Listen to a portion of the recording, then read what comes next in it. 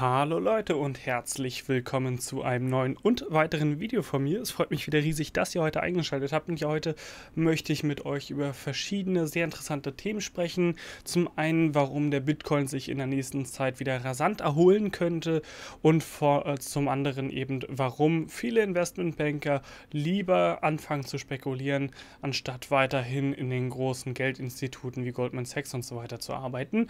Darüber reden wir jetzt, doch bevor wir mit dem Video anfangen, würde würde ich mich natürlich riesig über einen Daumen nach oben freuen, falls euch dieses Video gefällt. Wenn ihr neu auf diesem Kanal seid und auch zukünftig keine Videos mehr verpassen wollt, dann solltet ihr auf jeden Fall direkt erstmal ein Abo da lassen.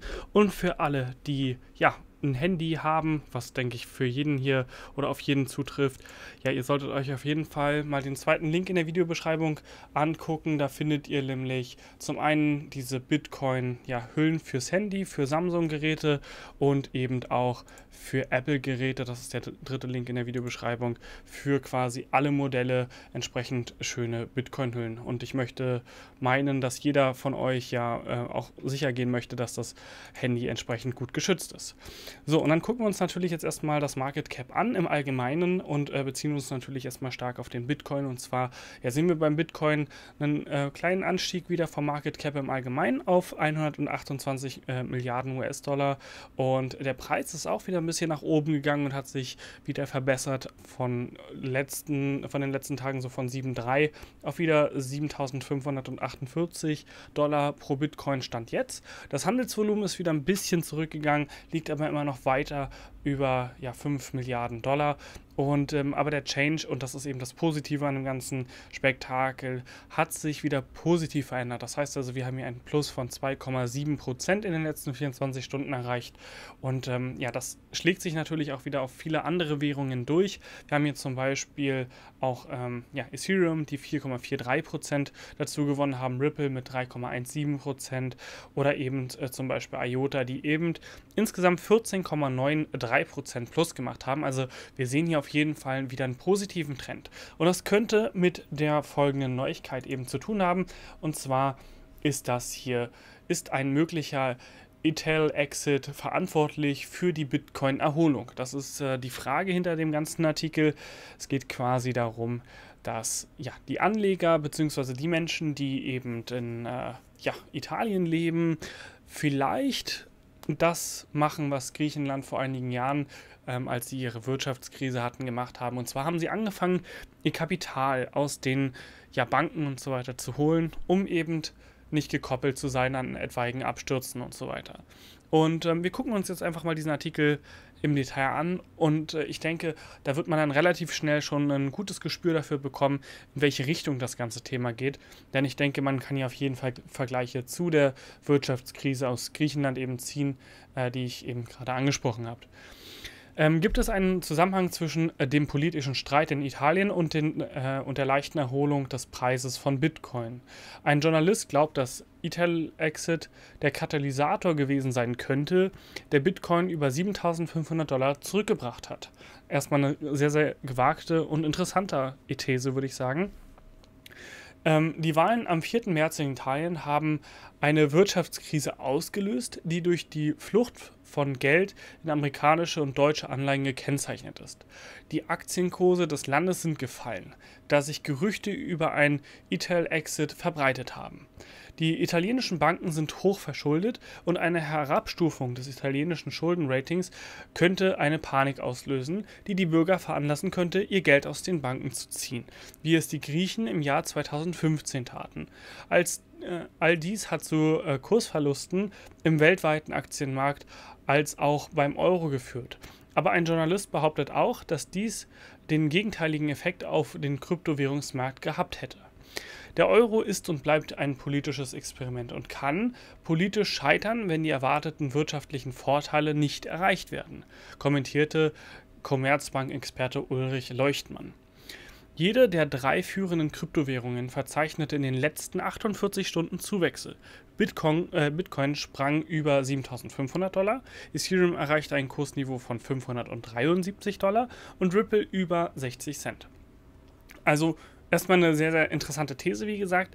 Ähm, und dass das tatsächlich damit zu tun haben könnte, Ja, ist halt die Frage, ne? Also da bin ich mir nicht ganz so sicher. Ähm, aber ich denke, was jetzt eben als nächstes kommt, ist sehr, sehr interessant. Joha Elmar ähm, hat den Zusammenhang zwischen der Krise in Italien und äh, der leichten Erholung von Bitcoin untersucht. Er bietet eine vereinfachte Chronologie der Ereignisse.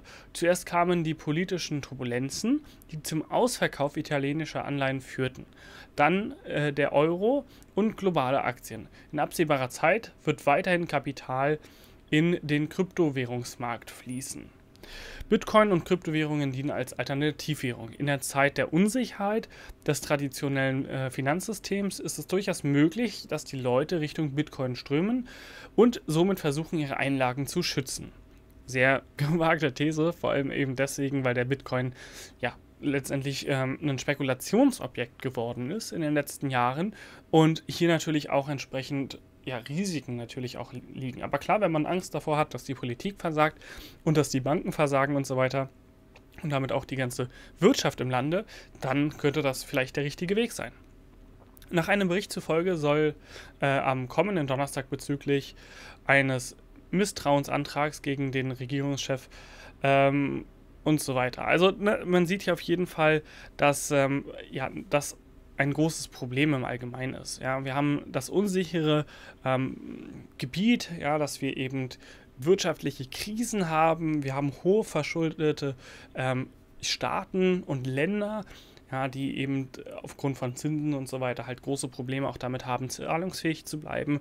Und ähm, das ist natürlich klar, dass der Bürger, der eben angewiesen ist auf sein Kapital, dann eben das Geld im besten Fall nicht unter seiner Matratze versteckt, ja, weil durch Inflation und so weiter könnte es natürlich oder ist es sehr wahrscheinlich, dass man dann langfristig eben Geld verli äh, verliert.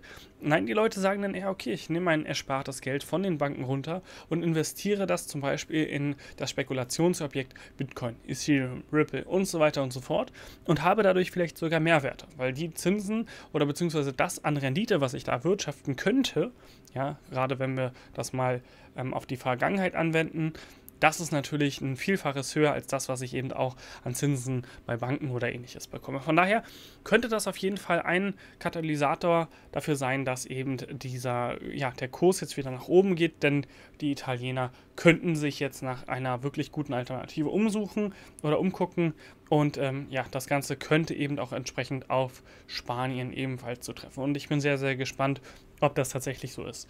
Was mich auf jeden Fall interessiert, wie seht ihr das ganze Thema? Schreibt es sehr gerne unten in die Kommentare und dann diskutieren wir darüber. Was ich außerdem angesprochen hatte, war lieber Bitcoin als Bonus. Top-Talente verlassen Wall Street-Banken, weil sie mit Kryptowährungen reich werden. Schweizer halten sich dagegen zurück. Auch ein wirklich toller Artikel, ähm, den verlinke ich euch natürlich auch unten in der Infobox. Und ähm, den werden wir nur im Allgemeinen mal durchgehen damit ähm, ihr einfach auch seht, was da theoretisch für Möglichkeiten sind. Natürlich braucht man in gewisser Weise Kapital, aber eben diese Risikofreudigkeit, die hier auch gelebt wird oder gelebt wurde, ähm, die zeigt einfach auch, wie viel ja, Möglichkeiten dadurch einfach entstehen, ähm, wenn man den richtigen Riecher hat, ein gutes Timing und natürlich auch das Quäntchen Glück, das gehört natürlich dazu. Ähm, es ist natürlich niemals gesagt, dass es funktionieren kann oder wird. Ja, niemand kann das definitiv sagen, aber es ist auf jeden Fall eine Möglichkeit. Banker an der Wall Street gelten nicht gerade als unbezahlt oder unterbezahlt. Allein die Bonuszahlungen für 2017 lagen laut der New Yorker Steuerbehörden im Schnitt bei 184.000 Dollar. Das ist super viel Geld. Das sind 17% mehr als im Vorjahr. Doch einigen reicht das immer noch nicht. Laut einem Bericht der Nachrichtenagentur Bloomberg häuften sich zuletzt die Fälle von Top-Talenten, welche namhafte Bankenhäuser oder Bankhäuser wie Goldman Sachs verlassen, weil sie mit ihren privaten Spekulationsgeschäften mit Kryptowährungen reich geworden sind. So seien bei Goldman Sachs schon in diesem Jahr alleine drei Kundenberater gegangen, weil sie mit ihren privaten Geschäften mit Kryptowährungen genug Gewinn gemacht haben ähm, bei der Deutschen Bank in New York hat der 29-jährige äh, Adrian, was auch immer, das Geldhaus im März verlassen. Auch er habe mit Kryptogeschäften auf eigene Rechnung so viel Geld verdient, dass er nicht mehr für die Bank arbeiten wollte. Obwohl er im gleichen Monat, in dem er gekündigte, äh, zum Direktor befördert worden war. Also wirklich erstmal total unvorstellbar. Auch, das Vermögen, oh, äh, auch der Vermögensverwalter BlackRock ist von dem Phänomen betroffen. Und BlackRock, für die Leute, die es nicht wissen, ich habe es mal aufgerufen, ist eine Vorgesellschaft, die Kapital verwaltet. Und wir reden hier nicht über so ein bisschen Kapital, sondern wir reden hier von insgesamt, ich glaube, ich weiß es gar nicht, da steht es, ähm, ja, 6,29 Billionen US-Dollar werden hier verwaltet. Das ist eine Zahl, ich glaube, die ist unvorstellbar. Und wenn ich in einem Unternehmen arbeite, ja, das so viel Geld verwaltet und alleine einen Umsatz von 11 Milliarden US-Dollar macht im Jahr, ja, dann mit Potenzial und so weiter natürlich, ne? Warum verlasse ich das dann? Ja, also es ist auf jeden Fall schon mal eine Entwicklung, die sehr, sehr krass ist. Ähm, ja, und hier ist es dann, hier steht es eben auch, ich bin in einer Position, in der es einfach keinen Sinn mehr macht, für BlackRock zu arbeiten, sagt Ashim Ahmad, der in London Pensionskassen und Hedgefonds bei ihren Anlagegeschäften beratet, äh, beraten hat. Die Preisschwankungen in meinem Portfolio sind höher als mein ähm, Gehalt. Wenn ich also ein paar richtige Investments tätige, verdiene ich genauso viel wie mein Jahresgehalt. Und alles, was da oben drauf kommt oder dazu kommt, ist ein Bonus. Und das ist natürlich absolut unbeschreiblich hoch. Also hier haben wir wieder ein gutes Beispiel dafür. Natürlich ähm, haben die Leute, die eben dahinter stehen, ein sehr fundiertes Wissen in dem Bereich. Natürlich, ja, sie haben das hauptberuflich gemacht, dass sie andere Firmen beraten haben, in bestimmte Dinge zu investieren, um das Geld zu vermehren und so weiter. Ja. Und dass man da natürlich in gewisser Weise talentiert ist und gut ist in dem, was man da tut, das ist, denke ich, und das steht auch außer Frage. Dennoch sieht man aber auch hier, ja, dass man, wenn man ein bisschen, ja, ein bisschen talentiert ist und ein bisschen risikobereit und so weiter, auch dass man hier entsprechend Kapital eben mit erwirtschaften kann. Und ähm, ja, das ist quasi auch mein Rat in Anführungsstrichen an euch. Setzt euch mit dem Thema auseinander und bekommt ein Gefühl dafür, wie sich ein entsprechender Kurs verhält, in welche Richtung er gehen könnte, durch welche Faktoren. Und ähm, ja, steigt dann eben, wenn ihr denkt, dass es der richtige Zeitpunkt dafür ist, ein in den Markt, um euch zu positionieren. Und ähm, ja, dann kann man eigentlich nur noch abwarten. Gut, ich hoffe, euch hat dieses kleine und informative Video gefallen. Falls es so war, würde ich mich riesig über einen Daumen nach oben freuen. Und wenn ihr weitere Videos zu dem oder anderen Themen sehen wollt, dann solltet ihr auf jeden Fall direkt erstmal ein Abo da lassen. Ansonsten hören und sehen wir uns die Tage wieder. Ciao, ciao.